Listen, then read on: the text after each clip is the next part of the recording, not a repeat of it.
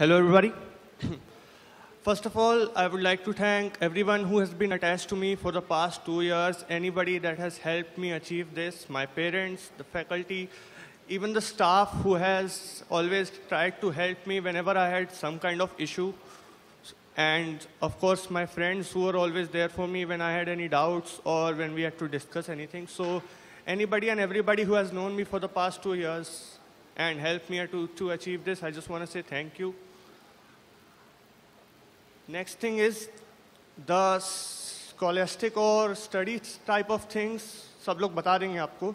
I want to focus on the mental and emotional things, okay?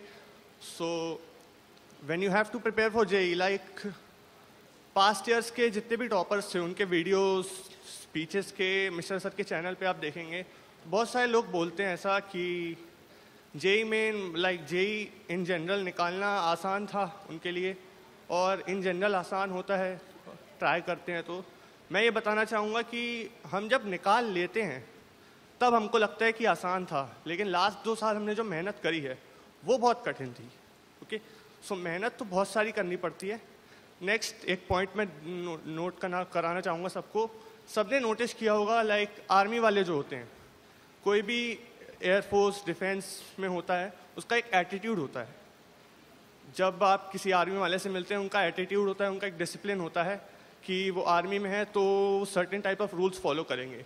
तो किसी भी बंदे ने अगर कोई स्पेसिफिक कॉम्पिटिटिव एग्ज़ाम निकाली है, अगर आप उनसे मिलेंगे तो उनका भी एक ऐसा एटीट्यूड होता है कि मैंने मेहनत करी है देन मैंने निकाला है। तो एक मेंटल स्ट्रेंथ होनी चाहिए सबके पास। दैट्स वेरी इंपॉर्टेंट ठीक है?